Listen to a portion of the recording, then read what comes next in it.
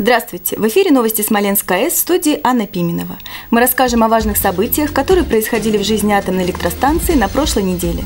Смотрите сегодня в выпуске. Данное оборудование позволяет выявлять более 40 потенциальных дефектов. Разработка и внедрение новой линейки оборудования. А в сеть мы отдаем с каждого блока 1038. Педагоги Смоленской области на станции.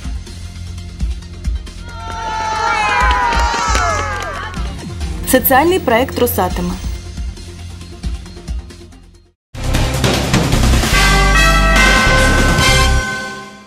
На плановом совещании с руководителями подразделений директор станции сообщил о работе атомных станций концерна «Росэнергоатом». Концерн «Росэнергоатом» э, план выполняют. Погоду на 100,8%. О техническом состоянии Смоленская сообщил главный инженер предприятия. В работе три энергоблока, суммарная нагрузка 3199 мегаватт. Выработка электроэнергии за 11 дней декабря составила 846 миллионов киловатт-часов, что превышает плановое задание на 317 миллионов. С начала года энергоблоками Смоленской АЭС выработано 20,99 миллиарда киловатт-часов, сверхпланы 491 миллион. Радиационный фон на промышленной площадке Смоленской АЭС и прилегающей территории не изменялся и соответствует естественным природным значениям.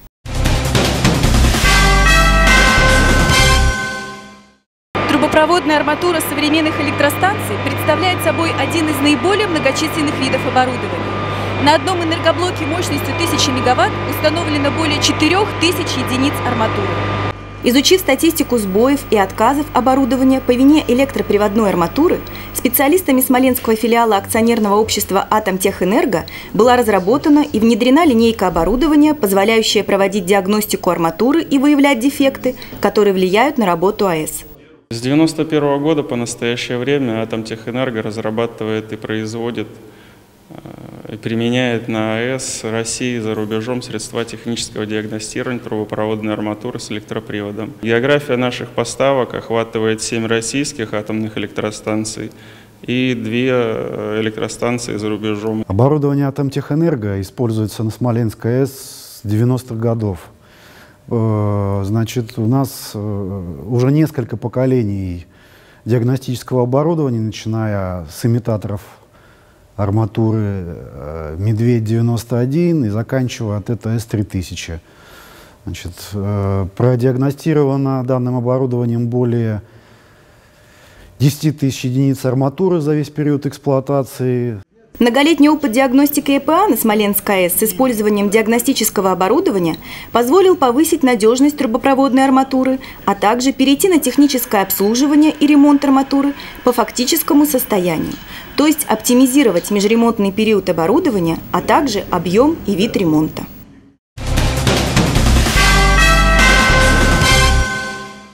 Гордостью за то, что в нашей области действует предприятие, мощный поставщик электроэнергии, экологический ориентир региона, были переполнены после экскурсии на Смоленск АЭС педагоги области.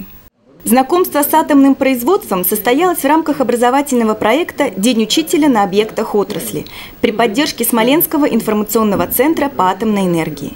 Экскурсия на действующую АЭС – замечательная возможность для педагогов, профессионально распространяющих знания о ядерной физике, энергетике, химии и экологии, на практике ознакомиться с атомными процессами, пообщаться со специалистами.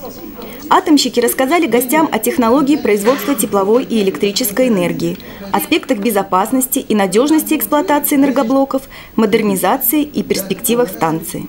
Данное предприятие, оно абсолютно безопасное, что очень высок уровень э, безопасности, что за ней очень внимательно и тщательно следят не только на предприятии, но и всевозможные сторонние организации. Наверное, это и должно быть на таком предприятии, когда жизнь связана с вопросами э, ну, такими серьезными, как э, атомная энергия, которая, в общем-то, таит в себе очень большую мощь. Я порекомендую, прежде всего, э, и своих э, своим родным обязательно поучаствовать в такой экскурсии, приехать сюда на атомную станцию. Ну и, конечно, своим ученикам, своим сотрудникам там, где я работаю в школе, тоже порекомендую обязательно посетить Смоленскую атомную станцию, потому что лучше один раз увидеть, чем сто раз услышать. Воспитанники детского сада «Лесная сказка» отправились в увлекательное путешествие в мир сказок. Праздник малышам подарил педагогический коллектив дошкольного учреждения, победивший в конкурсе социально значимых проектов «Русатома». На полученный грант 1 миллион рублей в детском саду установлен забор с изображением сказочных героев.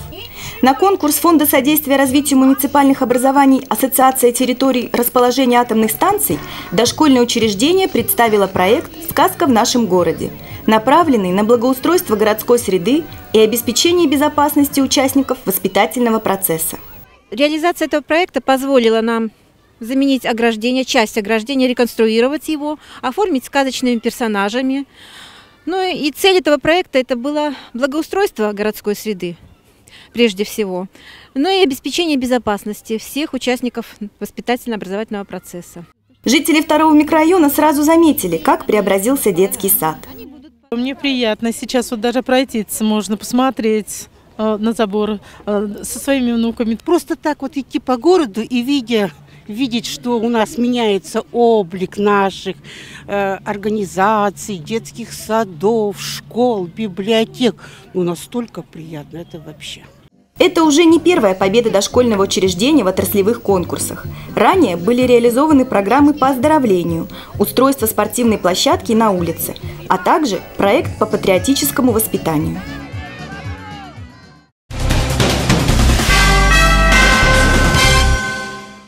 На этом наш выпуск завершен. Вы смотрели новости Смоленск АЭС. Увидимся через неделю. Хороших новостей и всего самого доброго. До свидания.